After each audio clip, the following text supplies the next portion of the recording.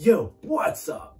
Dr. Swole here, MD bodybuilder, back with another video in my Basics of Training series. Today, we're going to be talking about deloading in bodybuilding. Now, I think this is a really important topic and it's probably one of the most overlooked things by beginners. I think it's really common in bodybuilding to have this attitude of go hard or go home. And while that mindset is great for motivation, it can lead to problems down the line if you don't know how to deal with fatigue. So I think deloading is a really important concept to be aware of as you start serious training. So today we're going to be talking all about deloading. First, we'll talk about our motivation, reasons why to deload. And then I'll walk you through how to do this in your own program. And lastly, we'll discuss how to know when to deload. All right, so let's jump right into this. There are two main reasons to deload. The first one is the most important, and that is to reduce fatigue. Now we can be looking at fatigue in the mental or physical sense. From the mental side, it really helps to have a break from always pushing yourself hard and really brings up your motivation for training again. From the physical sense, it's really important to take periods of easier training to prevent chronic overuse injuries. These types of injuries usually result from repetitive loading of the body in certain movement patterns, which is basically what you're doing if you're following a bodybuilding program. So a deload week gives you that time to heal up and remove those nagging aches and pains. The second reason to deload is that it can resensitize us to our training volume. Now, as I talked about in my volume video, volume, or the number of hard sets you do per week, is probably the biggest driver of hypertrophy in terms of variables in our training program. The thing is, our body adapts to a certain training stimulus over time and becomes resistant to the amount of volume you're doing. What that means is if you're doing a certain number of sets on a muscle group, after a few weeks, you won't be getting the same amount of growth as you were before. At that point, if you take a deload week, which is a period of low volume, your body becomes sensitive again to that training stimulus. And when you bring the volume back up to where you were before, you'll get robust gains again. Okay, so let's walk you through how to actually deload.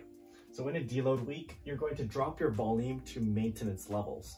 Usually that works out to around half the number of sets. Next, you're going to reduce relative intensity.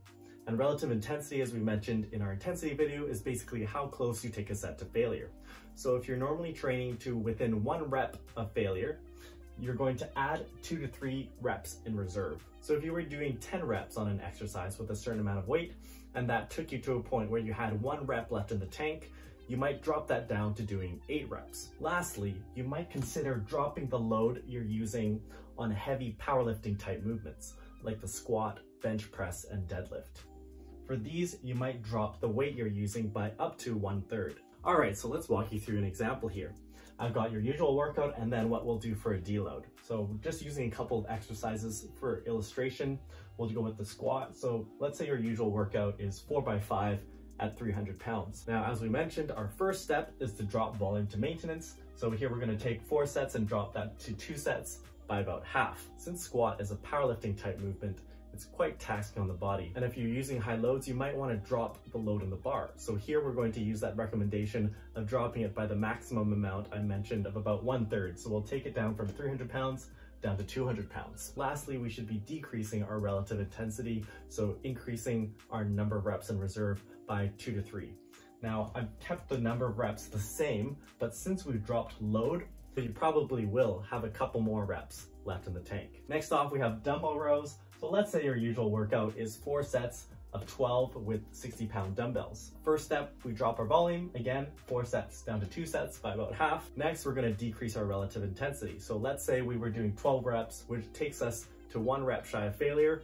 We'll drop that by two reps, and now we're doing 10 reps. We'll keep weight the same. So you would apply these concepts to each of the exercises in your program for each workout. One thing I like to do is that since you're dropping the number of sets you're doing, you might be able to spend fewer days in the gym. Usually I'm in the gym four times per week and on a deload week, I usually only need to get to the gym two times in that week. It's a good way to save time and I find it gives me a mental break. Lastly, we're going to talk about when you should be deloading. So you'll want to implement a deload week when you have one of these two criteria. First of all, if you can't recover from your previous week's training, you should think about taking a deload week. This usually manifests itself in terms of your performance, stalling, or even dropping. So say you have been progressing by adding a rep every week or maybe adding a small amount of weight. When you find you can't do that anymore, that might be a sign that it's time to deload. Second of all, think about deloading if you're noticing signs of overreaching. Now, overreaching is just a term we use to say that you're training hard enough that your body isn't fully recovering in between sessions or weeks. This can reveal itself in a few ways. You might be having aches and pains in your muscles that aren't resolving between workouts. So you're sore from one chest workout and you're still sore the next time you come around to train chest.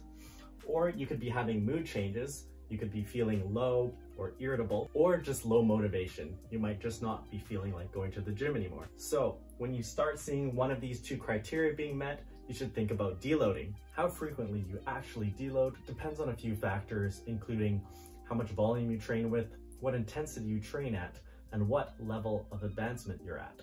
So I'd say that most people should be deloading every 4 to 12 weeks. I know that's quite a broad range, but it does depend on those factors. Usually, an athlete who is more advanced will need to deload more frequently because their training is heavier, they train with more volumes, and this produces more fatigue that accumulates over the weeks. But for a beginner, you might get away with a few months of continuous training before needing a deload. That's all for now, guys. Thanks for watching. If you found this video helpful, make sure you hit subscribe, like the video, and leave me a comment below. Let me know how you deload. See you next time.